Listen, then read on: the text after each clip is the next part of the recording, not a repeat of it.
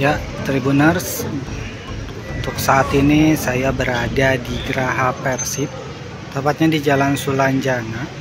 Untuk saat ini e, bisa dilihat di depan saya terdapat e, bis atau kendaraan bagi para tim atau tim Persib Bandung ya jelang pertandingan melawan e, Barito Putra di Stadion Gelora Bandung Lautan Api dan tepat di bawahnya atau di sekitarnya ini terdapat Boboto yang sedang menunggu atau melihat para pegawai Persib yang direncanakan akan berkumpul terlebih dahulu di Geraha Persib ini jelang atau sebelum pertandingan melawan Barito Putra pada pukul 13 eh 15.00 ya. Jadi ini Boboto uh, mengantri atau melihat di belakang pagar ini uh, untuk melihat para pemain Persib yang nantinya pada pukul 13.00 uh, para penggawa ini langsung berangkat dari Geraha menuju ke Stadion Gelora Bandung Lautan Api ya. Jadi memang biasanya para pemain Persib Bandung ini kumpul terlebih dahulu untuk melakukan briefing sekaligus makan siang ya bersama-sama dan langsung bertolak ke Geraha eh ke Stadion Gelora Bandung Lautan Api untuk menggelar pertandingan. Jadi ini eh, para boboto memang sudah dari pagi hari mengkerumuni atau berkumpul di Geraha Persib ini ya sejak pagi hari tadi karena memang ada beberapa pemain yang biasanya suka hadir atau tiba lebih awal untuk mengurus beberapa hal.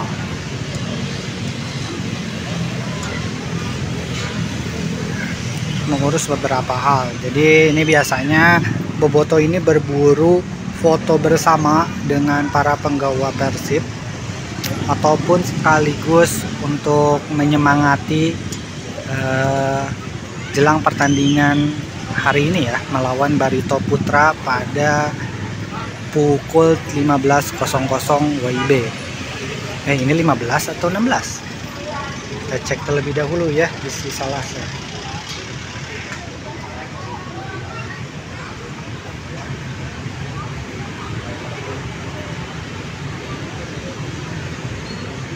ya pukul 15.00 ternyata Dan bagi tribuners atau warga Bandung yang memang uh, ingin memberikan semangat atau ingin sekedar berfoto-foto dengan para penggawa bisa langsung datang ke Geraha Persib ini sebelum pukul 13.00 ya. Karena memang pada pukul tersebut Persib ini sudah bertolak uh, ke Stadion Gelora Bandung Lautan Api untuk menggelar pertandingannya melawan Barito Putra. Dan sekedar informasi, eh, terdapat beberapa pemain Persib Bandung ini yang dikabarkan atau dipastikan tidak akan eh, diturunkan oleh pelatih Bojan Hodak karena eh, mereka ini mengalami sanksi dari Komite Disiplin PSSI ya Pemain-pemain tersebut antara lain seperti Ciro Alves, Maklok, dan Iputu Gede. Jadi ketiga pemain tersebut dipastikan tidak akan bermain melawan Barito Putra hari ini ya. Dan untuk sanksi atau hukuman yang diberikan kepada Maklok dan uh, Ciro Alves ini mereka mendapatkan sanksi larangan dua kali pertandingan jadi tidak bisa mengikuti pertandingan nanti eh, pertandingan hari ini melawan Barito dan nanti melawan Persis Semarang. PSIS Semarang dan untuk Kiputu Gede ini eh, mendapatkan hukuman yang lebih berat yaitu dilarang 4 pertandingan dan denda 75 juta. Jadi ketiga pemain tersebut uh, dipastikan akan absen atau tidak akan masuk ke dalam line up Persi Bandung melawan Barito Putra ya. ini sangat disayangkan karena memang saat ini Persib ini membutuhkan uh, para pemain andalannya ya. Terutama di sektor uh, penyerangan. Yang saat ini David da Silva ini sangat kesulitan untuk mencetakkan gol ya. Jadi Ciro Alves ini sangat benar-benar merugikan ketidakhadiran Ciro Alves ini ya karena saat ini pun Persib ini sedang berada di posisi uh, klasemen panas atau zona panas degradasi di peringkat ke-16 ya dengan mengoleksi atau hanya mengoleksi 7 poin saja. Jadi ini sangat merugikan jika memang saat ini Persib kalah ini kesempatan untuk bangkit akan semakin sulit atau akan semakin terhalang ya. Jadi semoga saja melawan Barito Putra hari ini Persib mampu mendapatkan poin penuh ya. Minimal harus mendapatkan poin penuh. Uh, kalau atau jika ingin keluar dari peringkat ke-16 uh, klasemen sementara Liga 1 2023-2024 seperti itu. Dan uh, Robi Darwis pun dipastikan tidak akan hadir karena seperti yang diketahui Robi Darwis ini mendapatkan panggilan dari timnas Indonesia untuk uh, bergabung dengan timnas Indonesia atau latihan pemusatan mempersiapkan diri menghadapi Malaysia ya di ajang Piala AFF 2023. Jadi saat ini Persib ini sangat uh, kekurangan atau akan terbilang pincang ya menghadapi Barito Putra. Namun beruntungnya saat ini uh, menara kembar Persib yaitu Nick Kuiper dan Alberto Rodriguez ini dipastikan akan diturunkan oleh pelatih Hodak setelah pada melawan Persis Solo pada tanggal 8 Agustus 2023 ini keduanya terpaksa absen ya. Jadi pada laga melawan Persis Solo ini Rodriguez mengalami akumulasi kartu dan Kuiper harus izin uh, masalah pribadi ya jadi pada laga kemarin pada tanggal 8 Agustus melawan Persis Persis Solo maksudnya itu uh, Nick Kuiper dan Rodriguez tidak akan eh, tidak diturunkan maksudnya. Dan saat ini keduanya sudah terlihat sudah mengikuti latihan bersama. Nah ini siapa nih? Ini pemain atau siapa kah oh bukan. Ya jadi itu dan bagi tribuners atau bobotoh yang ingin menonton atau menyaksikan pertandingan Persib Bandung secara langsung di dalam stadion dihimbau untuk menaati semua aturan termasuk di eh, disarankan untuk menukarkan gelang tiketnya lebih awal ya. Karena mengingat hari ini itu merupakan hari Minggu yang di mana eh, arus lalu lintas akan sedikit padat ya dari biasanya. Jadi bagi Boboto yang ingin menonton langsung ke dalam stadion GBLA itu uh, bisa atau sesegera mungkin menukarkan tiket pertandingannya dan langsung uh, pergi ke area stadion Gelora Bandung Lautan Api ya. Dan bagi tribuners atau bobotoh warga Bandung ini yang kesulitan melakukan verifikasi di aplikasi Persib Apps-nya bisa langsung datang ke Geraha Persib karena terdapat uh, beberapa petugas yang standby setiap saat ini membantu uh, Boboto yang kesulitan melakukan verifikasi di Persib Apps-nya ya.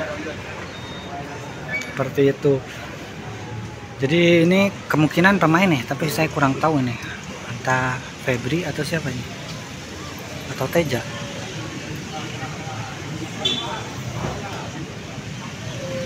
Oh Rian, Rian Kurnia ternyata ini Rian Kurnia uh, langsung diserbu oleh Bobotoh Cilik ya untuk meminta foto sekaligus tanda tangan.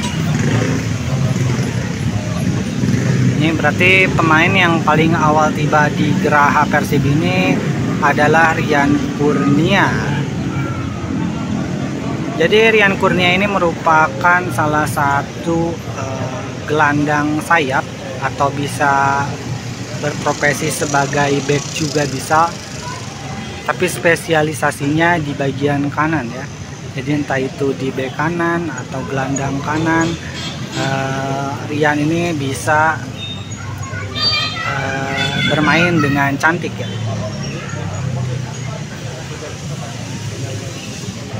ini juga melawan Persik Kediri ini Rian uh, akhirnya pecah telur ya setelah menyundul bola ke gawang Persik Kediri ya. Ini langsung diserbu. Ini walaupun angle-nya tidak dekat uh, lebih jauh di sini ya.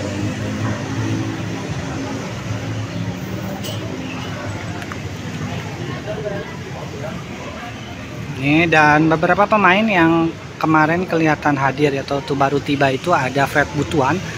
Setelah Fred Butuan ini absen dua pertandingan karena harus uh, mengikuti piala uh, atau mengikuti lomba di instansinya ya.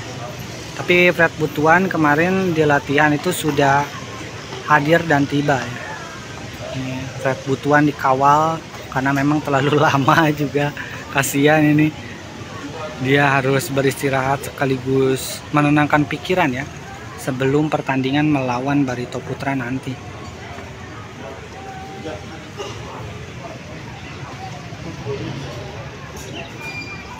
Dan untuk saat ini David Da Silva ini uh, terbilang uh, tumpul ya dibandingkan musim lalu. Jadi mengapa ketidakhadiran Ciro ini sangat merugikan karena saat ini David De Silva dalam tujuh pertandingan hanya mengemas dua gol ya saat melawan Madura dan uh, Arema.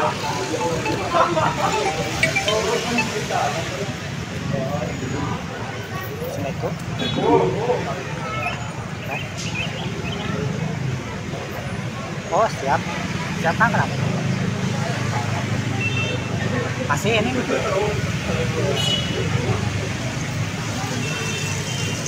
tiket ke siapa? Tukang pandu. Boleh boleh. Berapa tiket? Uh, siapa tadi teh? Uh, Kavin. Kavin oke. Okay. oh siap siap. Nanti Adi ambilin ya. Ini. Di dalam GBLA oh siap siap. Oke siap.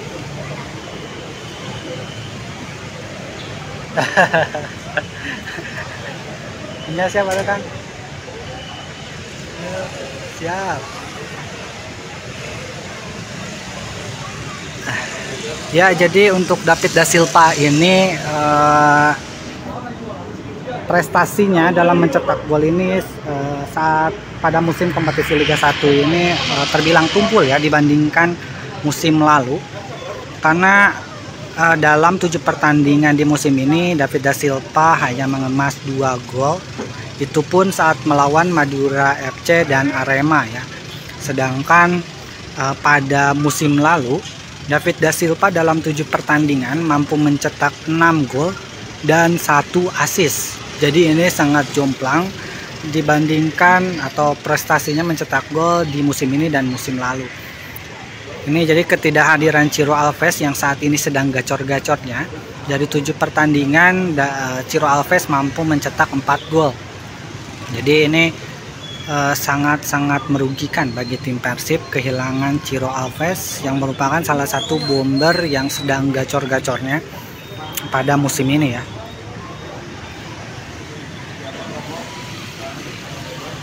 seperti itu. Jadi bagi tribuners atau warga Bandung yang ingin uh, menyambut atau memberikan semangat kepada para penggawa Persib bisa langsung datang ke Geraha Persib ini atau langsung pergi ke Stadion Gelora Bandung Lautan Api karena Persib akan bertanding dengan Barito Putra di uh, sana pada pukul 15.00 jadi uh, seperti itu. Saya Adi Ramadan Pratama. Terima kasih sudah nonton. Jangan lupa like subscribe dan share ya